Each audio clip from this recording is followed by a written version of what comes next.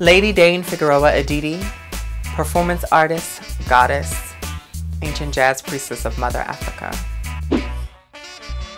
Race and gender, race and class.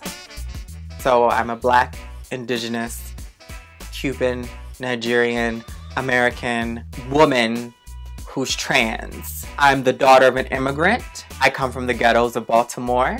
People have to understand what all of the histories of all of those identities in order to understand really my positionality within the world.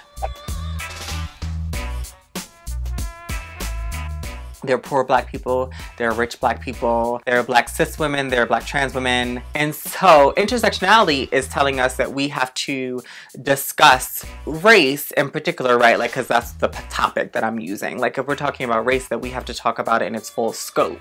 Yes, we are sharing an experience because, for example, two black people, we are sharing this experience because we're both black, but I'm a black trans woman. And so numbers don't lie. And we all know that black trans women um, in particular are some of the most marginalized in our community and the most affected by structural, structural oppression.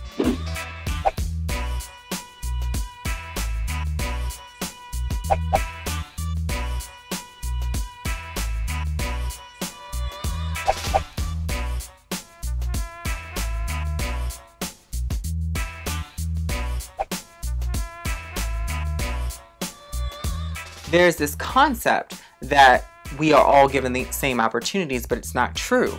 If we look historically and we talk about, you know, this idea of pulling yourself up by the bootstraps, black people actually did pull themselves up by their bootstraps. But we then have places like Tulsa, Oklahoma in 1921. There was thriving black neighborhoods, black people buying from black businesses, owning black businesses, investing in black businesses. I'm right, and that's what they're told.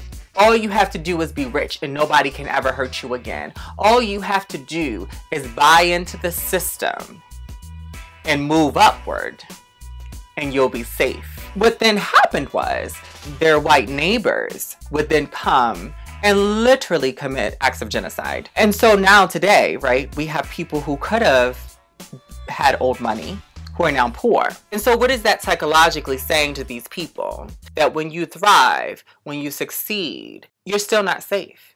And so we're talking about race and class, and we're not understanding the history of race and class as it presents itself in America in particular, because that's where we're living, right? And we're having a fool's conversation. If someone comes to me and they say to me, you are creating differences, I would say, no, that's actually not true. Because in my indigenous cultures, people who were different were still essential to society. Within European cultures, particularly within the rise of uh, patriarchy and the way that it manifests through religion, is that differences little by little were no longer celebrated and they were stamped out. And the one thing that, that structural oppression gives us that we should all aspire to generally is of a cis, het, white man.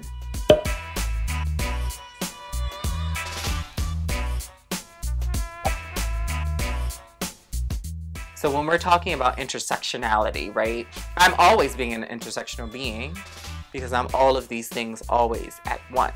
If you're having a conversation with me and you are having, you're not having a conversation understanding um, that I come with all of those identities within the conversation, then how are we supposed to move forward?